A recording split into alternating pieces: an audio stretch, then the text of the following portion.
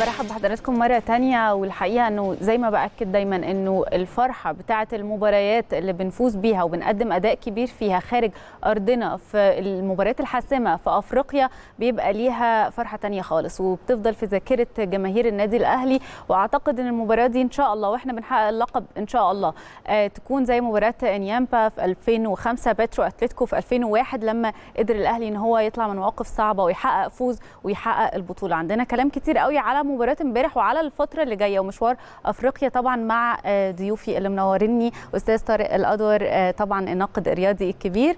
برحب بحضرتك يا فندم. أهلا بيك ومبروك للأهلي امبارح الأداء والفوز. أكيد طبعا. إحنا هنتكلم كتير قوي يا دكتور وخليني بس أرحب بكابتن أحمد عادل نجم الأهلي السابق. منورني دايما يا كابتن أحمد. ربنا يخليك وأنا سعيد إن أنا ببقى موجود معاكي دايما ومع الدكتور طارق طبعا. إحنا طبعا سعداء أكتر. دكتور عايز أعرف منك شايف إزاي المباراة فنيا؟ ومن ناحية بقى الأرقام حضرتك يعني في الأرقام والإحصائيات يعني دكتور فعلا. عايز أعرف منك إزاي شفتها فنيا بعد ما كنا مباراة الذهاب يعني متعادلين على أرضنا خايفين من المباراة دي بالتحديد وعايزين نطلع بنتيجة كبيرة قوي وإيجابية على أرض طبعا بيتا كلاب. شوفي هو في حاجة أساسية هنتكلم فيها بداية الفرق الكبيرة كلها عندها الصفة دي. الفرق بين الفريق الكبير والفريق اللي هو ما عندوش خبرات في الفوز بالبطولات والألقاب وكلام من ده إن الفرق الكبيرة تعرف ترجع في الوقت اللي هي بالزبط. في أزمة فيه. صح. والأزمات دي كانت كتير قوي السنة اللي فاتت. زي يعني ماتش الهلال السنة بعد اللي فاتت. بعد لما الأهلي كسب البطولة آه. أما أنت ترجع حتى في فيديو جميل كده كان معمول على على اليوتيوب على على ال account بتاع قناة الأهلي بتاع الأهلي يعني كان بيحكي القصة. فأنت لما تشوف القصة بأثر رجعي تشوفي إزاي كانت المواقف. فالسنه اللي فاتت مثلا ما كانش موقف واحد. أوه. ده موقف الخسارة من النجم الساحلي في أول مباراة في المجموعة. مم. موقف التعادل مع بلاتينم ستارز في الجولة الثالثة. واحد واحد هناك. واحد واحد هناك وكان الموقف ده عقد المو... الدنيا تماما. والموقف الأخير إن أنت لازم ما اخسرش قدام الهلال في الخرطوم في في الموقف اللي هو كان في جمهور بره الملعب كمان وكان شفنا ال... ال... كانت معركة حربية مش مش مباراة.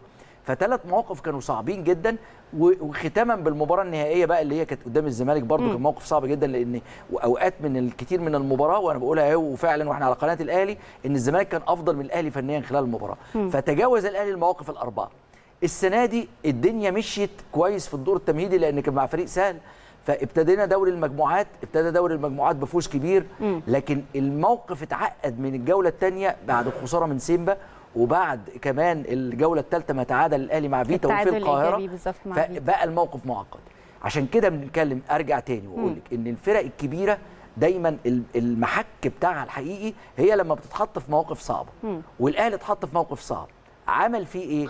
النادي الأهلي امبارح كان فيه أنا قلت كده وحللتها سبع عوامل سواء فنية أو نفسية هي اللي خلت النادي الأهلي امبارح يوصل إلى إنه يفوز بره ملعبه. حقق أول فوز في تاريخ الأندية المصرية على أندية كونغولية. وكان في حصل لبس كده عند الناس قالت لك لا ما هو ليوبار الكونغولي. الأهلي فاز عليه بره ملعبه في الجولة كانت الثالثه من مباريات المجموعات عام 2013 بالظبط. كان في ليوبار بطل الكونغو لكن ده بطل الكونغو في ناس بيحصل عندها لبس لبس. صح. كونغو برازافيل غير الكونغو الديمقراطيه بالزبط. لو قلت الكونغو بس يبقى قصدي على البرازافيل. لكن عشان أقول الكونغو الديمقراطية أقول جمهورية الكونغو الديمقراطية اللي هي RDC أو République démocratique du Congo اللي هي اللي هي جمهورية الكونغو الديمقراطية دي اللي منها فيتا ومازيمبي. طبعا ده ملناش دعوة بالكونغو وبرازافيل اللي الأهلي فاز قبل كده خارج ملعبه. هذا هو أول فوز لنادي مصري على نادي كونغولي في عقر دار الفرق الكونغولية في التاريخ. بعد 22, 22 مباراة. ماتش. 16 خسرهم الأندية المصرية وستة فقط انتهوا بالتعادل ودي كان الأول فوز خارج الديار لفريق مصري على فريق كونغولي. هنتكلم على أكيد سر التفوق ده أكتر يا دكتور. آه بس خليني كابتن أحمد أسألك بقى. موسيماني امبارح فاجئ الجميع. لعب ب 4 4 2 ولعب مروان وشريف. شفت إزاي أنت تعامل موسيماني مع المباراة دي؟ أكيد طبعا دي يمكن تكملة لكلام الدكتور إن فعلا النادي الأهلي هو عنده مقومات البطولة وده بي- بيدل إن أنت بتكسب بره ملعبك. وخصوصا في الفترة الأخيرة إن كله كان بيتكلم على أداء النادي الأهلي أو دي مش النتائج اللي منتظره من اللعيبة لكن كلنا كمحبين النادي الأهلي كان عندنا ثقة في اللعيبة. انهم زي ما كنت بطلع أتكلم مع حضرتك قبل كده إن اللعيبة عندها مقومات البطولة الجهاز الفني عنده مقومات البطولة. وبيبانوا في المواقف دي. يعني اللعيبة لو ما عندهاش مقومات البطولة مش هيقدر يكسب بره ملعبه في مباراة يعني 50 50 لكن النادي الأهلي بيحقق مكسب كبير. آه، مستر مساماني بشوف إن هو عالج السلبيات بتاعت المباريات اللي قبل كده. حتى في الحالات الدفاعية إن الراجل بينزل بيفرض أسلوب لعبه ودي كانت مهمة جدا إن أنت النادي الأهلي هو بيتربى على عرش أفريقيا.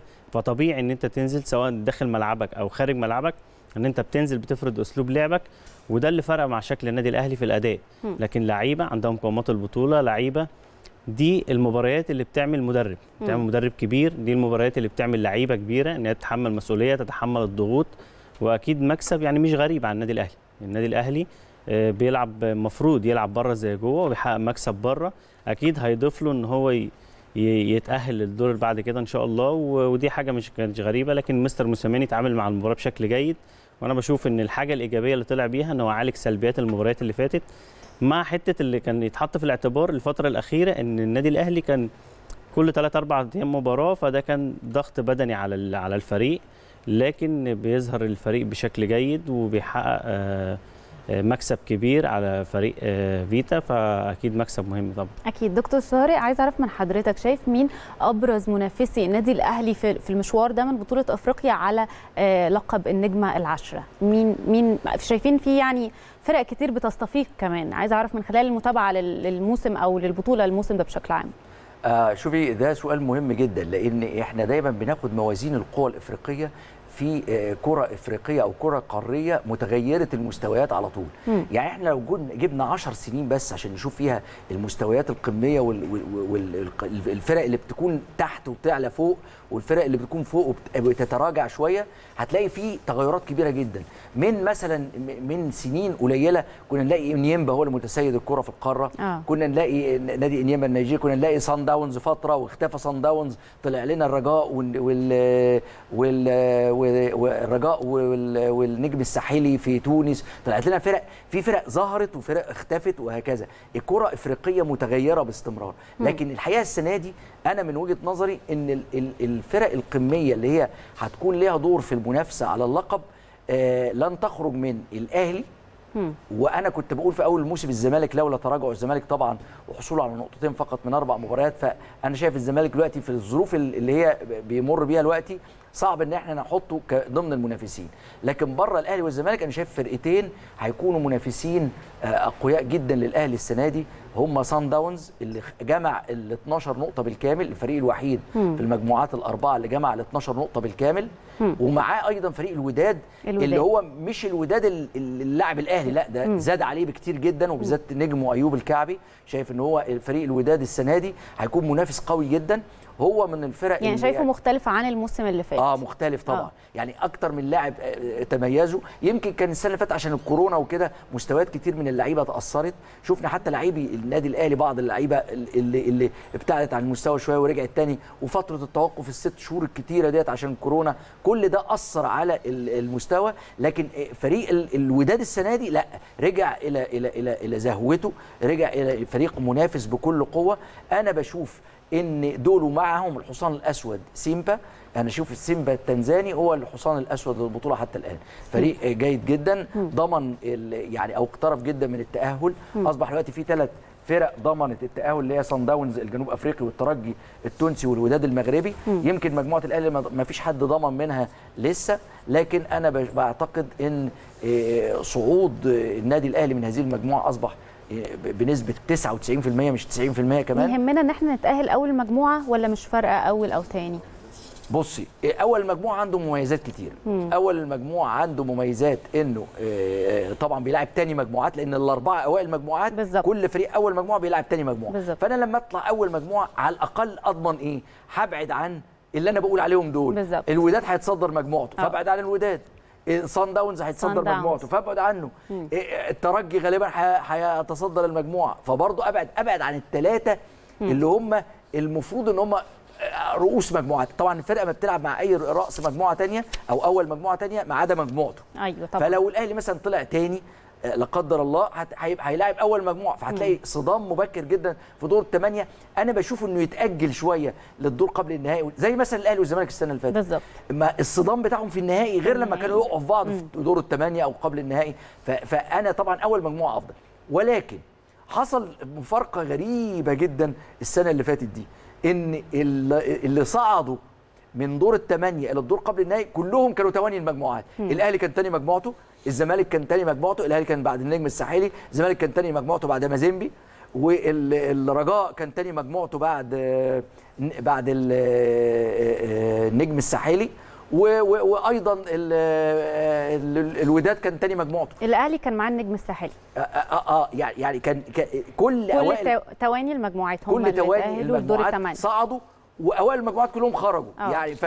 فإذا هي مش معيار صح. ولكن أنا بتكلم على منطقيا الأفضل للأهلي إن هو يتجنب يتحاشى لأن مم. كل اللي أنا بقول لك عليهم الثلاثه اللي هيطلعوا أوائل المجموعات سواء صن داونز أو الوداد أو الترجي أنا شايف إن هم فرق تقيلة. يعني يعني ممكن الأهلي يخش في أجواء البطولة ويلعب دور الثمانيه مع حد تاني صح. يبقى دور قبل النهائي ونهائي بقى ده يبقى وضع تاني. طيب آه، كابتن أحمد عايزين نتكلم أكتر عن اللعيبة اللي تألقت في المباراة. بس خليني أبدأ معاك من مروان محسن. عايز أعرف رأيك فيه فنيا. المباريات اللي فاتت خصوصا في مباراة الكونغو في الذهاب آه، أو فيتا كلوب يعني آه، الكونغولي في الذهاب وفي الاياب شفت شفت إزاي مستوى مروان محسن؟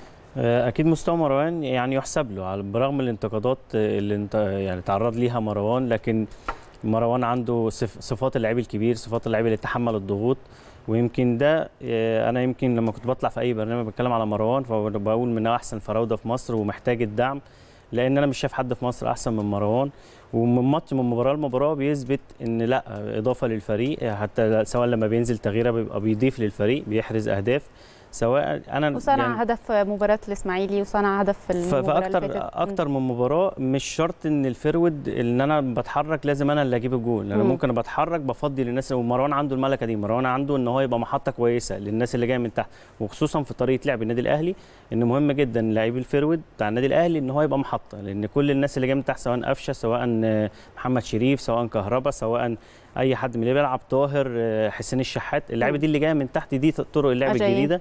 اجاييه كل اللي جاي من تحت ده هو ده اللي بيجيب الأهداف لكن مهم جدا مروان من مميزاته إن هو بيقدر يتحرك كويس يفضي الناس اللي تحت أو سواء إن هو يبقى محطة. ده أداء مروان وده اللي مش جديد عليه يمكن هو كان بيعاني. من سوء توفيق شوية الفترة الأخيرة لكن هو أنا بشوف إن مروان من أحسن الفراوده في مصر أتمنى إن كل وسائل الإعلام تدعمه لأن هو. يستاهل لأن أنا. مش شايف حد أحسن مروان في المكان ده أو إن هو يبقى جدير يبقى forward النادي الأهلي فكل المقومات forward النادي الأهلي أكيد موجودة في مروان طيب محمد شريف بقى لازم أخدك لمحمد شريف ودوره امبارح وال rotation اللي كان بيحصل بين شريف ومروان ده اللي كنت بناشد بيه الفترة الأخيرة كلها لما شريف ما كانش بياخد في المباريات كنت هو أكيد لعيب مهم أكيد لعيب اتكلمنا هيضيف في ده كتير قبل كده يا كابتن كتير أحمد. كان إن هو لازم يبقى ليه دور وشريف من نوعية إن أنت ممكن تغير طريقة اللعب على شريف. مم. إن أنت ممكن تلعبه striker صريح إن هو يلعب تسعة أو ممكن تلعبه تحت ال forward سواء في الطرف اليمين أو الطرف الشمال. هنا ده بيوفر عليك كمدير فني إن أنت تغير. عشان كده لما بتبدأ بيه بيبقى مهم. لو عايز تبدأ بيه forward التسعة هيقدر يأديها وبيقدر يحرز اهداف وده أثبته لك كمدير فني في أكتر من مباراة لكن شريف ممكن لو مش عايز تستغله تسعه أنت ممكن ترمي والتر بواليا forward وينزل محمد شريف سواء في الطرف اليمين أو الشمال مم. دي ميزة من مميزات النادي الأهلي إن أنت عندك البدلة كمان زي الناس اللي جوه أحسن مم. فدي برضو من فرق البطولة فرق صح. البطولة إن أنت عندك دكة الاحتياطي لما تبص حتى في أي تغيير الناس اللي بتنزل بتضيف مم. فدي ميزة من مميزات النادي الأهلي وأنا بقول هنا أي حد بيلبس شيرت النادي الأهلي هو مفيش أساسي واحتياطي أنت صح. بتبقى جدير إن أنت تلبس شيرت النادي الأهلي بيبقى عندك لعيبة عندك مقومات البطولة بتقدر تتحمل الضغوط عشان كده مستر موسيماني لما بيعمل أي تغيير لا الناس اللي بره بتنزل تضيف وخصوصا ده بان في التغييرات يعني بان في التغييرات وخصوصا الناس اللي بتنزل بتضيف وبتقدر تأمن كويس. ده بان في التغييرات لما قفشة طلع ونزل حمدي و... وقدروا إن هم يأمنوا نص الملعب. لو عايز تغير شريف من فروت صريح هيقدر يلعب على طرف من الأطراف. فده دي حاجة بتميز النادي الأهلي أكيد يعني. أكيد. دكتور طارق عايز أعرف منك أكتر مكاسب النادي الأهلي بعد الانتصار ده بالتحديد. أنا بص عايز أقول لك على حاجة آه، آه، أنا حللت موقف الأهلي في مباراة امبارح في سبع عناصر اتفضل. هقول لك السبع عناصر الأول نقط وبعدين ممكن اللي أنت عايزة نتكلم فيه طيب. لأن ممكن دول نتكلم. فيهم كتير أنا معاك. آه، آه، السبع عناصر دول مكسب ومن خلالهم هتعرفي إن مشوار البطولة هيبقى إزاي أول عنصر كان إيجابي للنادي الأهلي في مباراة امبارح هو حتة ال- الروح القتالية العالية جدا اللي أدى بيها الفريق المباراة. أكيد. بعد التعادل مع فيتا في القاهرة الناس كلها كانت قلقانة من شكل النادي الأهلي هيبقى إيه واللعيبة حالتهم النفسية إيه وحالتهم المعنوية إيه. لأ بدأوا المباراة من البداية بروح قتالية عالية جدا استمرت. ده نمرة واحد. نمرة اتنين إن أي حد هيتوقع كده قبل المباراة الأهلي هيلعب إزاي مع فرقة فيتا؟ أنا لا يمكن أخسر منها لأن الخسارة منها تعني خروج النادي الأهلي مبكرا من البطولة. فأنا هلعب إزاي؟ لا أنا عندي مبادرة في الهجوم. النادي الأهلي نزل من بداية المباراة هو اللي عنده المبادرة الهجومية هو اللي كان عنده الفرص من البداية هو اللي خلق الفرص من البداية. أدي نمرة اثنين نمرة ثلاثة اللي أنتوا لسه بنتكلمين عنها دلوقتي المشاركة بمروان محسن ومحمد شريف. مروان محسن كراس حربة ومحمد شريف تحتيه ك shadow striker. خلي بالك أغلب الناس طالبوا قال لك طب أنت هو يا ده يا ده يعني يا بوالي يا- يا شريف ما يبقوا مع يا بعض. مروان ما يبقوا مع بعض. ليه؟ بالذات إن إيه؟ ما أقولش مثلا أنا ما أفضلش قوي مروان مثلا وولتر بواليا لأن الاثنين عندهم نفس الصفات اللي هي التحرك وال target الأمامي وبيتحرك وبيشتغل كمحطه وبيتحرك في جوه منطقة الجزاء وبيجيد اللعب العاب الهوا.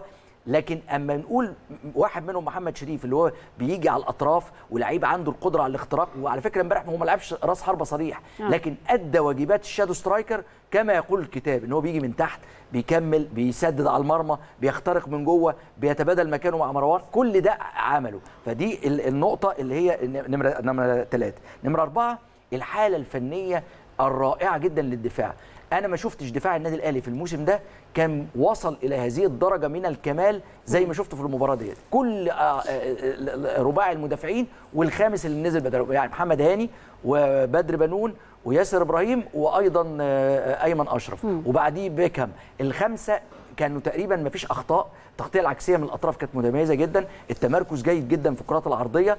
الرقابة وال marking على المهاجمين كان مميز جدا. فدي النقطة كانت نمرة أربعة. نمرة خمسة قفشة. الموسيقار اللي أنا سميته امبارح وأنا بعلق كنت في الإذاعة إن هو الموسيقار بتاع المباراة. هو فعلا قائد الفرقة بشكل متميز جدا. استغل مهارته في ان هو يلعب على الترتان الترتان محتاج لعيبة عندهم قدرات معينة عشان يتحكموا على الكورة. في rebound للكورة على الأرض أسرع بكتير من الأرض ال- النجيل الطبيعي. فده هو كان موسيقار المباراة زي ما بنقول. نمرة ستة ترابط الخطوط والتقارب. كان الميزة الكبيرة قوي للنادي الأهلي في عصر فايلر انه كان بيتحرك ككتلة واحدة. يعني تلاقي لو النادي الأهلي تقدم للأمام وضغط بخمس ست لعيبة في قدام تلاقي الاثنين ال third back ين بيطلعوا لقدام بيخلوا الفرقة بنسميه ال- الدفاع ال compact. يعني دايما المسافات بين مش مش سايب مساحات واسعة مش سايب. مساحات. الأهلي كان عنده مساحات كتير في كل المباريات اللي فاتت. لكن آه. أول مرة كله بيتحرك كتلة واحدة وكله بيرجع في الدفاع كتلة واحدة فده قلل المساحات. نمرة سبعة هي كلمة واحدة آه. وانت بقى عندك الكلام عليها قول. الشناوي الشناوي، بس طبعا. هنقول بقى يعني يعني مش هقول لك بقى إنه- الشناوي إيه لكن طبعاً، آه. الشناوي ده لوحده مش بس حارس مرمى قوي قائد في الملعب ووجوده الحقيقة في أوقات كتير ح- بيبقى حاسم جدا بي- بيظهر في الأوقات الحاسمة بيبين لنا قد إيه أي فرقة كبيرة عايزة تكسب بطولات لازم يكون عندها حارس مرمى قوي زي الشناوي هقول لك على حاجة لفتت نظري امبارح في أداء الشناوي الشناوي بعد كورة كانت ملعوبة آه، cross pass من ناحية الشمال عن طريق لوزولو ده اللعيب أحسن لعيب فيهم اللي هو ال back الشمال عمل كرات عرضية كتيرة من ناحية الشمال. عمل كرة عرضية طلع الشناوي الكرة عدت على القايم البعيد. طلع برغم إن هو كان موسطن نفسه في الجول شوية راح راجع ورا ولعبها بال box وداها الناحية الثانية اللي هي فاضية ما فيهاش لعيبة. فطبعا من ذكاء حارس المرمى إنه يلعب الكره بال box في حتة فاضية فلعبها الناحية الثانية وبعدين راح عامل إيه؟ كلم الدفاع. آه. قال لهم لو هنا سيبوها لي. شوفي قد إيه الدفاع يبقى صح. قلبه مطمن. يعني اللعيب اللي بيلعب مدافع أنا ممكن ألعب معاه مدافع هبقى مش خايف. طالما معايا الشناوي. يعني إيه بقول لك إيه؟ شوفي قد إيه قال له إيه؟ أما تيجي هو هو بيتكلم طبعا إحنا مش سامعينه. بس بيقول له كده سيبها لي. يعني سيب سيبوا لي أنا. الكرات اللي هي هتبقى عالية في الحتة دي. لأن أنا هتعامل معاها افضل ما اي مدافع ممكن مثلا يلعبها بضربة رأس وتطلع في حتة أو تطلع ضربة ركنية لا هو عارف نفسه هيعمل إيه في دي. فده عشان كده أنا بقول لك كان من- من النقطة رقم سبعة بس أنا بشوف ان هي في الفترة الأخيرة بالنسبة للأهلي الشناوي دائما هو النقطة رقم واحد في في انتصارات الأهلي. إحنا هناخد من النقاط دي بقى ونتكلم مع بعض أكتر فنيين في المباراة. كابتن أحمد لما نتكلم على الدفاع والصلابة الدفاعية لنادي الأهلي امبارح ويمكن كنت بتكلم على إنه من أول 20 دقيقة دول أو 20 دقيقة مثالية مش بس على مستوى الهجوم وكمان على مستوى الدفاع وكمان في المباراة كلها. شفت إزاي ياسر إبراهيم وأيمن أشرف وبدر بنون بالتحديد؟ يمكن فعلا ومحمد كان- هاني طبعا. محمد هاني اللي طبعا. تحامل على إصابته الصراحة وكان باين قوي امبارح. يمكن فعلا من, من أفضل المباريات اللي شفناها الخط لخط لخط دفاع النادي الأهلي. وخصوصا هنا في المدافعين يمكن أنا كنت بلعب مدافع برضو لازم يبقى في كيمياء بيننا وبين الأربعة اللي ورا. يعني مم. أنا والثلاثه اللي جنبي. فلازم يبقى في كيمياء بيننا. كتر اللعب جنب بعض بنعرف نشيل بعض إزاي بنعرف نغطي على بعض إزاي. يمكن دي من السلبيات اللي اتعالجت. الفترة الأخيرة يمكن كنت بقول إن كان بيبقى في مساحات بين خطوط الدفاع النادي الأهلي لكن فعلا عالجوها في المباراة دي وخصوصا بالكلام الشناوي من ورا يمكن كان الدكتور طارق بيتكلم في حتة إن أي كرة هنا سيبوها لي هنا بنبقى عندنا ثقة في الجون يبقى. عندنا ثقة في الجون وخصوصا جون بحجم الشناوي فخلاص أنا أي كرة عالية أو أي كرة معدية هو الشناوي هو بيطلع بياخد فهنا ال- الكيمياء أو الترابط اللي بيبقى بين الشناوي وبين خط الدفاع ده بيبقى مهم جدا. آه، هنا آه، كنت أنا بطالب إن أيمن أشرف في المباريات دي إن هو اللي يبقى موجود بعد غياب بقى علي معلول لأن هو عنده الحالة الدفاعية حالة جيدة وفي نفس الوقت أيمن أشرف بيقدر يهاجم كويس وخصوصا الم- المركز ده مش جديد عليه. المركز ده لعب فيه كتير في ناشئين النادي الأهلي ولما اتصعد معانا في الدرجة الأولى وكان بيلعب في المنتخبات كلها كباك ليفت. وسموحة ف... كل حياته. وسموحة وفعلا. ف... فهو عنده الملكة. هنا هنا لما تقدر تعتمد عليه هنا اللعيب اللي بيلعب دورين بيوفر على المدير الفني كتير. يعني ممكن حتى لو انت third third back مش third back حصل له حاجة فبتقدر تدخل أيمن جوه. دي اسمها مرونة تكتيكية بتقدر تدخل أيمن ك third back. ولو بتنزل back left زي ما حصل التغيير اللي هو بتاع بتاع بيكهام بس ايمن أيمن. طلع. لكن هنا آه، اللي فرق مع أداء النادي الأهلي إن الخطوط فعلا كانت قريبة من بعض. يعني في فرق لما أنا بهاجم بتبقى كل الدفاع زائق بتبقى في تضييق مساحات. حتة إيجابية برضو إن الكرة لما بتتقطع في نقطة بيحصل ضغط في نفس النقطة. يعني الفريق ما بيتراجعش وبعد كده بيستنوا يستقبلوا الكورة. لا كان أول ما الكرة بتتقطع من النادي الأهلي كان بيحصل ضغط في نفس الوقت. والكلام اللي بيوجه الضغط هو اللاعب اللي ورا مش اللاعب اللي بيضغط. يعني يقول له اضغط فبيضغط. ال- فالكلام مع بعض كان ده كان واضح. ترابط الخطوط مع لعيبة النادي الأهلي بين خط الدفاع ووسط الملعب والفراودة وهنا اللي وفر على دفاعات النادي الأهلي كتير الهجوم. يعني طول ما أنت بتهاجم كويس وزائق الفرقة وواخد المبادرة وفارض أسلوب لعبك ده بيوفر على خط الضغط على خط الظهر الضغط عليه. فكان يعني من أفضل المباريات اللي كان النادي الأهلي معاه التوفيق فيها. وفعلا كانت اللعيبة كلها روح قتالية رجالة فعلا روح الفانيلا كانت موجودة في المباراة.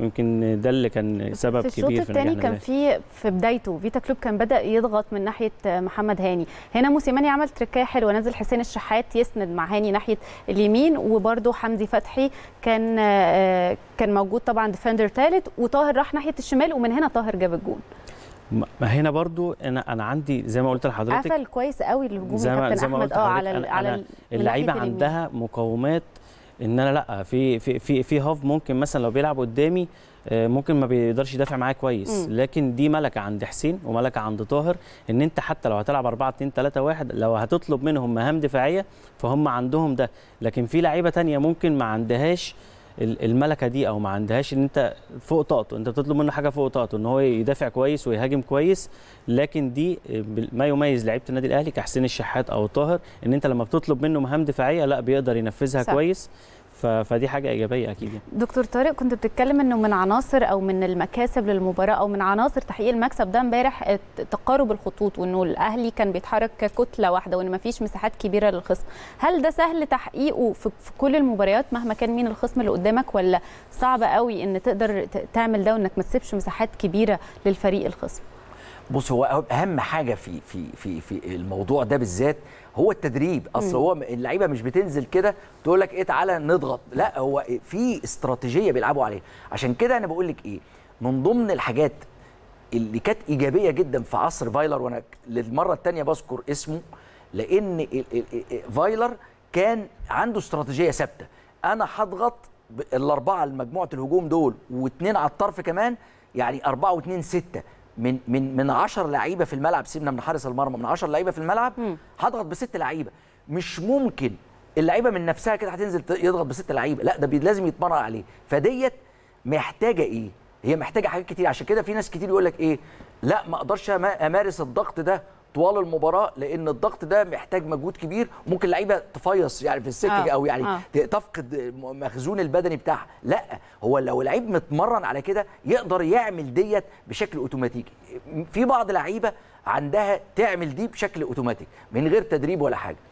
إيه، زي مثلا جونيور أجاي. جونيور أجاي من غير ما تقول له هو يعني زي ما الكابتن أحمد قال دلوقتي آه، قال لك إيه جونيور أجاي من غير ما تقول له هو حافظ في واحد تاني تبقى تبقى شوية لازم تقول له كتير عشان يعملها. فجونيور اجاي وأنا مغمض. فقد الاهلي الكورة والكورة راحت ناحية جبهته الشمال. هتلاقي جونيور اجاي ده back شمال تاني جنب بقى قدام علي معلول لو بيلعب قدام أيمن أشرف قدام بيكهام. يعني هتلاقيه back زي back شمال. فدي موجودة عند بعض اللعيبة. لكن في لعيبة تانية لازم أنا أمرنهم عليها. إزاي الاهلي كان بي في بداية الموسم اللي فات بيكسب 5-0 و4-1 ومش عارف 4-0 النتائج الكبيرة دي جت إزاي؟ من نظرية اللعب ال- الكومباكت ده إن أنا بتحرك واحدة واحدة هجوما بتحرك واحدة واحدة دفاعا.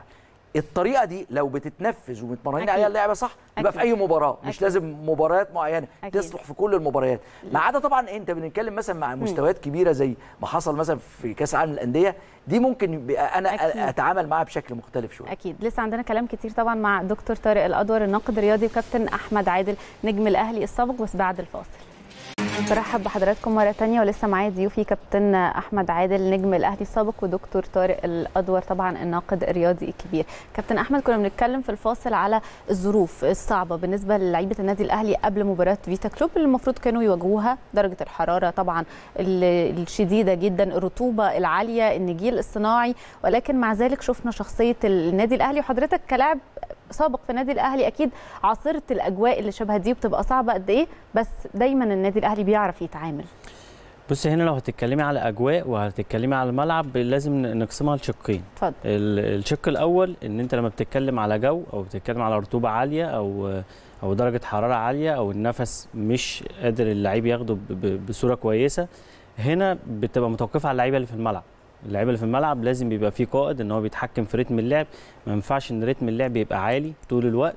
ودي اللي كنت بقولها على طول الفترة الأخيرة إن لازم واحد زي السولية يبقى موجود لازم واحد زي قفشة يبقى موجود في الملعب لأن اللعيبة دي عندها ملكة إن هي بت- بتعرف تتحكم في رتم اللعب. كقائد داخل ال... دي كانت موجودة في حسام غالي قبل كده. إن هو ما ينفعش إن رتم اللعب يبقى عالي طول ال... طول الوقت. أنا بعرف بعلي رتم اللعب إمتى بهدي رتم اللعب إمتى اللعيبة بتبقى تعبانة إمتى أضغط إمتى ما أضغطش إمتى. دي بترجع برضو دي مش ما بتبقاش كل حاجة على المدير الفني. هنا اللعيبة لازم بتبقى بتتكلم مع بعض. هنقفل مثلا هنعمل زوم من دلوقتي. آه، سواء هنضغط من قدام هن- هنباصي الكرة هي اللي هتشتغل. ده بالنسبة للشق اللي هو لو في رطوبة عالية أو لو في درجة حرارة عالية مثلا ولا حاجة. الشق الثاني بالنسبة للملعب هو من أصعب الملاعب اللي ممكن تقدر تلعب عليها هو النجيل الصناعي. النجيل الصناعي لأن بيبقى فيه طبقة زي صخرية تحت النجيلة. فدي برضو بتأثر على على الكورة حتى وهي جاية. والنجيل الصناعي من النوعية إن الكوره وهي جاية ممكن تغير اتجاهها. فدي برضو بتبقى عايزة حرص عايزة استلام جيد ودي طبعا كل الملكة دي عند لعيبة النادي الأهلي. لكن النجيل الصناعي بيبقى ليه مواصفات خاصة حتى في الباص. عشان كده كان من مهم إن مثلا إن كانت الفرقة تتمرن على ملعب زي دوت قبلها ويمكن ده مش مش عارف حصل أو لأ لكن حصل. ف... فدي حاجة من مهمة جدا إن اللعيبة وفعلا قدروا إن هم يتعاملوا معاها. دي بس من المساوئ بتاعت النجيل الصناعي. يمكن من أنا بقول لحضرتك من أسوأ الملاعب اللي ممكن تتلعب عليها لكن الحمد لله إن لعيبة النادي الأهلي قدرت إن هي تتغلب علي- عليها. الحمد لله فعلا. دكتور طارق حتة بقى الأرقام بتاعتك أنت والناس بتحب تفهم الحسابات اللي جاية إيه المطلوب من النادي الأهلي الفترة اللي جاية؟ إحنا بنتكلم في إن المجموعة سيمبا الأول دلوقتي ب 10 نقاط النادي الأهلي بعديه بسبعة وفيتا بأربعة. المباريات الفاضلة للنادي الأهلي ومفروض يبقى التعامل إزاي بقى الحسابات؟ طيب نمسك المجموعة الأولى ونشوف المجموعات نمر برضو على المجموعات الثانية عشان نعرف مين المرشحين. المجموعة ال- الأولى دي آه، هي المجموعة الوحيدة اللي ما فيش منها حد ضمن التأهل. مم. بينما المجموعة الثانية والثالثه والرابعه قلت لك ثلاث فرق اللي هم صن داونز والوداد والترجي ضمنوا خلاص الصعود ايا كان قبل جولتين من النهائي. إحنا بنحب التشويق. نسيبها للآخر. عارف كده. ال suspense كده. هو فعلا أنت عارفة اللي حصل بماتش فيتا ده هو ده ال suspense بتاع الدورة بتاع البطولة دي. بالظبط. زي السنة اللي كده كان في ثلاثة suspense زي ما. قلت لك. ف... فاحنا بنتكلم إن دلوقتي النادي الأهلي عنده مباراة المريخ بره وعنده مباراة سيمبا هنا إيه، أنا بشوف إن الأهلي بيفكر في حاجتين. اولا إن ضمان التأهل وبعد العثرة اللي تجاوزها بالفوز على فيتا فإن هو يفوز على المريخ بره ملعبه عشان يبقى يبقى وإحنا لسه في دوري المجموعات يبقى النادي الأهلي عمل ثلاث انتصارات بره ملعبه وده الحد الأقصى اللي بي... اللي عمله في تاريخه إنه يعمل ثلاث انتصارات. كان قبل كده ممكن مثلا يلعب سبع مباريات عمل ثلاث انتصارات. ارتفعوا السنة اللي فاتت إلى إلى أربعة باعتبار إن المباراة النهائية كان كان كانت مباراة الزمالك. هي بالقرعة كده كانت مباراة الزمالك فيعتبر أربع انتصارات خارج الميدان. لكن طبعا نظريا هو في القاهرة وكان الأهلي والزمالك فبالتالي هي كانت كان ثلاث انتصارات بس. أها. يبقى يبقى النادي الأهلي عايز يفوز على المريخ. يتبقى مباراة سيمبا. مباراة سيمبا لو النادي الأهلي فاز بيها وكانوا متساويين في النهاية إمتى يتساووا؟ لو الأهلي فاز مثلا على المريخ وراح جاي ال ال آه، سيمبا فاز على فيتا في ملعبه في دار السلام. لأنه هيلعب مع وهو على فكرة سيمبا فاز على فيتا في كنشاسا فلو فاز عليه تاني هيبقى 13 نقطة. 13 والأهلي. هيبقى 10 يبقى المباراة الأخيرة بين الأهلي وسيمبا هتكون لو هي الأهلي. كسب 2-0 يبقى الأول. آه لازم يكسب أكتر من 1-0 لأن هنا كل فارق الأهداف ما يتحسبش. إمتى يكون فارق الأهداف له دور وده بقى ال- لصالح الاهلي لو الأهلي فاز 1-0 وكان سيمبا فاز 1-0 المواجهات المباشرة بقى. نشوف بقى ال- المواجهات المباشرة يبقى 1-0 1-0 بعد كده نلجأ لفرق الأهداف لأن كل ال- ال- المواجهتين نفس النتيجة بالظبط. فنرجع لفرق الأهداف. فرق الأهداف دلوقتي الأهلي آه ليه 8 وعليه 3 يعني ليه خم... فرق خمسة؟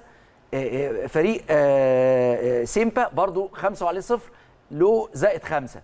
بس الأهلي جايب بس الأهلي. أهدافه أكتر. آه بس خلي بالك بقى لو الأهلي فاز بالماتشين وفاز على سيمبا مين فوق على سيمبا؟ يبقى أوتوماتيك الأهلي هيجيب فرق أهداف أكتر. بالظبط. لأن الواحد صفر دي هتبقى معناها جول للأهلي وجول على سيمبا فطبعا دي هتفرق في فرق الأهداف. فبكده كده إن الأهلي لو وصل إن هو فارق ثلاث نقاط ومباراته في القاهرة مع سيمبا إن شاء الله النادي الأهلي لو فاز 1-0 بس هيبقى هو على قمة المجموعة إن شاء الله ده اللي. بنتمناه. عايزة أعرض صورة مع حضراتكم كده ون... ونعلق عليها نشوفها دلوقتي. آه ليها علاقة طبعا بميسي. ده ده في تنصيب لابورتا كرئيس لبرشلونة الجديد وميسي هنا طبعا في الصورة وميسي يمكن من أكبر المؤيدين آه للابورتا. شايفها إزاي يا كابتن أحمد؟ شفت إزاي أصلا تنصيب لابورتا وإن هو رئيس جديد لنادي برشلونة بعد فترة صعبة قوي مر بيها برشلونة؟ هو كان من أسوأ الحاجات اللي كانت في برشلونة هو رئيس النادي السابق. آه اللي هو بارتوميو. آه كان مصمم جدا على على أي مدير فني بيجي برغم نتائج سيئة للفريق آه، بعدم تحقيق آه، دوري أبطال أوروبا عدم تحقيق الدوري الإسباني لكن آه، حاجة ويمشي. سواريز ويمشي ويجيب وكومان لا كان في نفسه كان سلبيات طبعا سلبيات كتير جدا كان. كان كان لازم يتغير عشان إن شاء الله نشوف برشلونة في في حالة عكس السنين اللي فاتت إن شاء الله يا دكتور طارق رأيك في تنصيب لابورتا وفي الصورة وميسي وهو موجود طبعا وزي ما بقول من أكبر المؤيدين يعني. آه طبعا هو طبعا بارتوميو آه، آه، كان موجود في فترة سيئة جدا لبرشلونة لكن لابورتو كان موجود في فترة ذهبية جدا في مطلع القرن ده اللي وصل فيها برشلونة إلى أفضل مستوياته الفنية والنفسية وكان نجومه في قمة مستوياتهم سواء تشافي هرنانديز وميسي نفسه وإنيستا و و و و, يا و فكرتني بالأيام من أيام المكسب. كانت فرقة ما ملهاش حل. وبعدين على فكرة يعني حتى الإنجاز اللي عمله بايرن ميونخ السنة دي بالفوز بالسداسية اللي هي دوري وكاس محلي وسوبر محلي وبطولة دوري أبطال أوروبا والسوبر الأوروبي وبطولة كأس العالم للأندية. الست بطولات دول كان عملهم سبق برشلونة وعملهم في 2009 فأنا شايف إن هو في علاقة حب كده وعلاقة ود بين ميسي ولابورتا وهو اللي أنقذ برشلونة بعد فترة آه، سيئة جدا. وأعتقد إن ممكن برشلونة دلوقتي بوجود ميسي يوصل إلى أبرز مرحلة نجاح يعملها السنة دي في ظل الت- التضارب الشديد في كل شيء في على إدارة النادي وفي مشاكل الفرقة وفي خسارة ثقيلة كانت في نهاية الموسم اللي فات أمام بايرن ميونخ. كل المشاكل والأزمات اللي مر بيها برشلونة دي أنا أعتقد ممكن تتحل لو حصل حاجة. هو هيلعب نهائي الكاس لو فاز بالكاس وعنده كمان فرصة إنه يفوز بالدوري لأنه قلص الفارق مع أتلتيكو مدريد, مدريد. المتصدر إلى أربع نقاط وفي مواجهة مباشرة بينهم. آه. يعني لو فاز بيها برشلونة هيبقى فرق نقطة. فأنا شايف برشلونة لو فاز لو نجح في إنه يفوز بالدوري وخد الكاس يبقى هو في موسم سيء جدا عمل إنجاز كبير زي كده. أنا شايف ده يحل كتير من مشاكل. شايف مباراة برشلونة وأتلتيكو مدريد مين الأقرب للفوز فيها؟ لا هو هو دلوقتي أتلتيكو مدريد كان عامل موسم كويس جدا لكن مع توالي المباريات تراجع شوية أتلتيكو. وبرشلونة ابتدى يرجع شوية. فعشان كده أنا بشوف إن هو تخيل لو سخرية القدر خلت إن سواريز يجيب بقى هدف أو أكتر في برشلونة. عارف الانتقام بقى دايما كرة أيوة. القدم تديك فرصة تانية إنك تنتقم. آه لا بس بس هو طبعا سواريز طبعا نجم كبير. وخلي بالك إن كمان سواريز تربطه بميسي علاقة آه، آه، ميسي ما. كانش عايزه يمشي فعلا. بالظبط فكانت دي مشكلة كبيرة. يمكن آه، أحد أسباب اضطراب أداء ميسي في الفترة اللي راحل فيها سواريز في بداية الموسم دوت. هو اللي أنا بقول عليه دوت صح. الصداقة الكبيرة وكان رفضه التام وبارتوميو قعد يكلمه من هنا للسنة الجاية عشان بس يتخلى عن فكر التخلي عن آه، سواريز. وطبعا فعلا سواريز أهو بينافس على لقب الدوري الإسباني. بالظبط. كابتن أحمد نرجع بقى للأهلي. وعايزة أسألك ال- المباراة دي والفوز ده بعد الظروف الصعبة دي شايف قد إيه هتفرق معنويا مع اللعيبة في مشوار أفريقيا بقى اللي جاي وقبل مباراة المريخ؟ أنا بشوف إن دي من من أهم المباريات اللي فعلا النادي الأهلي كان لازم يحقق مكسب وخصوصا بعد الفترة الأخيرة. فعلا بيرجع ثقة اللعيبة في نفسها بيرجع بيرجع ثقة المكسب آه، المكسب. أنا بشوف إن مع لعيبة النادي الأهلي ومع جهاز فني النادي الأهلي هو مكسب بيجيب مكسب. آه، معنويا اللعيبة بترجع تاني آه، ثقتها في نفسها بترجع تاني آه، اللعيبة بتتلم آه، بيبقى ليهم دور اللعيبة الكبيرة في ال- في المباريات دي. وفي المباريات اللي جاية ده بيقدر يساعد أي قائد يعني زي ما قلت لحضرتك إن الشناوي قائد قائد داخل الملعب قائد خارج الملعب مم. ده هيسهل عليه كتير جدا مع الفريق مع اللعيبة الكبيرة الموجودة سواء مروان سواء أيمن أشرف اللعيبة السولية. اللعيبة اللي عندها صفات القيادة ده حتى في عندنا في الكورة اسمها حاجة اسمها أوضة اللبس دي صح. يعني المكسب لما لما بيرجعوا والنادي الأهلي عنده برده من من المميزات إن هو بيقدر يقفل صفحاته. سواء بمكسب سواء بخسارة هو بيقفل الصفحة مع إنها بتبقى صعبة شوية على على اللاعب يا كابتن. فكرة إن أنا أقفل اللي فات ده وأفكر بس في اللي جاي خصوصا لو اللي فات ده كان حاجة سلبية. ما أنا زي ما قلت لحضرتك اللعيب النادي الأهلي هو عنده مقاومات البطولة. صح. دي من صفة من من صفات لعيبة النادي الأهلي. بالظبط. إن هو سواء سلبية أو إيجابية هو بيقدر يقفل الصفحة حتى السلبية هو بياخد منها بيحولها لحتة إيجابية. حتة إيجابية. حافز إن أنا لازم اللي جاي يبقى أفضل. اللي جاي يبقى أفضل. اللعيبة تتلم تاني. طب أخطائنا إيه؟ طب سلبياتنا إيه؟ صح. فاللعيبة قبل الجهاز الفني هي بيبقى عندها هدف فلما الجهاز الفني بيطلب منه آه، أهداف أو بيطلب منه أي حاجة فاللعيبة بتقدر تنفذها لأنها عندها. لكن مم. في لعيبة تانية هي ولا عندها مقاومات البطولة ولا عندها حاجة. فلما المدير الفني بيطلب حاجة فما بيقدرش حتى. تتنفس في المباريات. فلكن كل لعيبة النادي الأهلي عشان كده قلت لحضرتك أي لعيب بيلبس تيشيرت النادي الأهلي هو يبقى يبقى جدير إن هو يبقى موجود يبقى يتحمل تيشيرت النادي الأهلي وثقة حتى الجماهير. عشان كده ثقة جماهير النادي الأهلي كلها في اللعيبة كبيرة جدا.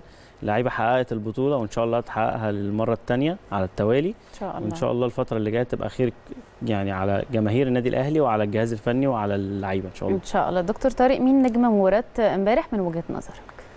من وجهة نظري قفشة. لأن قفشه هو أكتر واحد عرف يتعامل مع الترتان ده اللي انت ما بتحبهوش. آه، عرف يتعامل مع الارضيه الترتان لأن لأن يمكن الكابتن احمد عارف الكلام دوت هو كلاعب كوره عارف إن إن سرعة ارتداد الكورة والتحكم في الكورة والترقيص واستقبال الكورة كل ده موقف تاني خالص. بجانب طبعا الأثر السلبي والضار جدا للترتان بإن بإن إن عشان الأرض أكثر صلابة فبترد على مفصل الركبة أغلب إصابات الركبة اللي حصلت في العالم من بداية تنفيذ ملاعب الترتان دي كان في في الثمانينات كده. أول ما فكر الاتحاد الدولي قال لك الفرق اللي ما عندهاش ملاعب وكلام من يتعمل ملعب ترتان بيبقى سهل آه. وسريع. سبب فشله هو الإصابات الكتير. شفت بقى أنا ليه حق ما أحبوش ها؟ شفت إن أنا زي- ليه حق زي, ما زي ما قلت؟ زي ما قلت لحضرتك فعلا يا دكتور لأن بيبقى في طبقة صلبة تحت ال- تحت ال- النجيلة آه دي الكونكريت دي بتبقى آه اللي. هي بتبقى طبقة صلبة زي أسفلت كده بتبقى طبقة طبقة خشن على حتى على ركبة اللعيب. يمكن آه، لو نرجع بالذاكرة شوية إن زي ما قلت لحضرتك إن قفشة آه، متعود على النجيل الصناعي لأن هو لعب في الرجاء والرجاء كان بيلعب على ملعب نجيل صناعي. فهو عنده برضو خبرات قديمة في حتة اللعب على النجيل الصناعي. أكيد. طب كابتن أحمد من وجهة نظرك أنت مين نجم ال- المباراة؟ مباراة الأهلي وفيتا كلوب أنا بالنسبة لي بيبقى الفريق. أيوه أنا عارفة أنا عارفة. ودي ودي إجابة صح جدا والله. دي مش دبلوماسية بس الفريق كله فعلا لا ظهر كنجم اللي فرق مع النادي الأهلي؟ آه. فرق قفشه. قفشه برضه. قفشه بالفعل. لأن ال- المركز ده هو زي ما قلت لحضرتك هو اللي بيتحكم في رتم اللعب. قفشه من نوعية كمان إن أنت في مصر دلوقتي بتفتقد رقم 10 اللي هو اللعيب اللي بيلعب تحت الفرود ده قليل جدا. دي كانت موجودة برضو قبل كده في صالح جمعة. فاللعيب ده في مصر بتبقى أنت اللي بتبني عليه طريقة لعبك. فإن قفشة بيبقى في أحسن حالاته وبيأدي هتلاقي الفريق فيه مكسب هتلاقي إن أنت كل شوية بتروح للجون هتلاقي في rhythm اللعب بيتحكموا في rhythm اللعب. فأنا بشوف إن من نجوم المباراة قفشة أكيد أكيد. دكتور طارق مي... إيه أبرز ال- التحديات اللي بتواجه أو هتواجه النادي الأهلي الفترة الجاية ولازم نكون واخدين بالنا منها في مشوار أفريقيا؟ وب... وبشكل عام بقى الحمد لله إن في فترة توقف دولي برضو تساعد اللعيبة إن يبقى في recovery ولكن تراجع على برضو مباريات كتير قوي سواء دوري أو أفريقيا. هو أبرز تحدي هو اللي أنت قلتيه ده ازدحام الأجندة بشكل كبير جدا لأن طبعا فترة التوقف دي هي آخر فترة توقف في الحياة كلها السنة دي خلاص بعد فترة المنتخب ديت هيبقى في تجمع تاني على المنتخب في شهر ستة بس طبعا هيكون قبل. الدورة الأولمبية بيتجمع فيها. ضغط جامد قوي كأس مصر وأفريقيا وسوبر لكن خدي بالك أصعب فترة. هيمر بيها الأهلي ربما في تاريخه وفي تاريخ أي نادي مصري تاني هو ما بعد العودة اما هيلعب بقى مباريات آه، المريخ ثم مباراة سيمبا الأخيرة ثم بعد كده لما هيبتدي بقى في المشوار المحلي بلقاء القمة الأهلي والزمالك لأن من مباراة الأهلي والزمالك الأهلي كده عدي مثلا يوم 18 سيب 19 و20 هيلعب 21 سيب 21 22 هيلعب 23 سيب 23 24 25 هيلعب 26 أول مرة كل يومين أو كل ثلاث أيام فرقة. مصرية خلي بالك كتير قوي فرق لعبت كل ثلاث أيام اللي هو مم. كل 72 ساعة مم. بس طبعا إحنا بنتكلم إيه؟ أنا لما بلعب النهارده مفيش غير يومين بس هما اللي في النص لأن لما بلعب كل 72 ساعة بيبقى في يومين بس في, في, في النص. آه كان ممكن فريق يلعب كل ثلاث أيام وبعدين مرة كل ثلاث أيام بس بعد كده يوسع شوية يبقى كل أربع أيام أو كل خمس أيام. لكن إن أنا ألعب ست مباريات متتالية بين المباراة والمباراة 72 ساعة بشكل متوالي دي ما حصلتش في تاريخ الكرة المصرية. آه. اللي عنده حاجة غير كده يطلعها لي. لا عمرها ما حصلت في التاريخ. هيلعب 18 21 24 27 30 2 وهكذا. بالمنظر ده ده هتبقى من أصعب الفترات اللي هيمر بيها طبعا. النادي الأهلي. بمناسبة بقى الضغط اللي. بيتكلم عليه دكتور طارق فكرة إن إحنا دلوقتي عندنا أكتر من لاعب في, في كل مركز ده هيساعد النادي الأهلي بشكل دي كبير؟ فعلا أنت حطيتي إيدك على نقطة مهمة جدا إن زي ما قلت لحضرتك وهتلاقي الكلام كله مربوط ببعضه ان إن أي حد بينزل ما تحسش إن الأداء اتأثر. هنا ال- الملكة اللي عند موجودة عند لعيبة النادي الأهلي إن اللي بره زي اللي جوه اللي بره أحسن من اللي جوه.